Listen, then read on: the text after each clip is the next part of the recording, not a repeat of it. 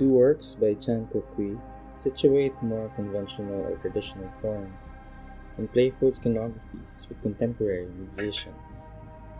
Screen Deep Colors is part of an ongoing series of paintings inspired by smartphone screens.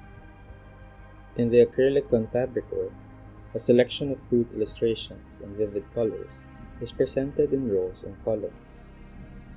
The setup recalls puzzle games where one needs to clear similar fruits by lining them up. Juxtaposed with these is a painting of a nude woman, which for the artist is drawn, quote, in the style of old murals, end quote. The paint of the background is cracking and peeling, the colors more patchy and drab, vis-a-vis the brilliant hues of the fruits in the phone game. The glass screen is a material trope that brings together and highlights the disparity in each aesthetic moment. While the mural transforms throughout time, is weathered and worn, pigments in slow desiccation. The screen treats us to a perpetual present, a counterfeit freshness that unhinges itself from a world carrying on. This is quite a crude binary that the work in itself keeps fraught and suspended under glass, perhaps also alluding to the material's technology of encasing or containing. Alongside this work is the work The Spring in the Water, where the artist creates an installation out of watercolor.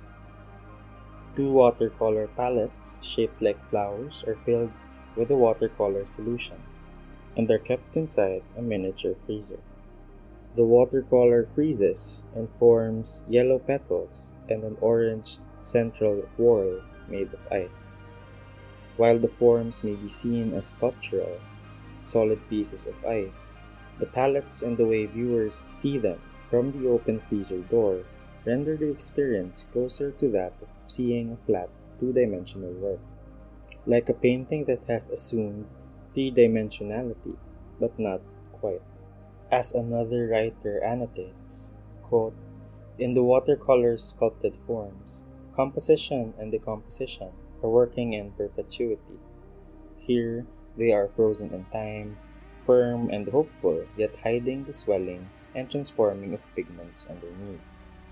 It is also fun to imagine the installation's afterlife. The various moments the freezer will be unplugged from its electrical source, when the watercolors resettle into their liquid forms, and the process repeats. In Chan's works, it is through technological mediations that conventional or traditional material and forms explore contemporary questions of genre and media.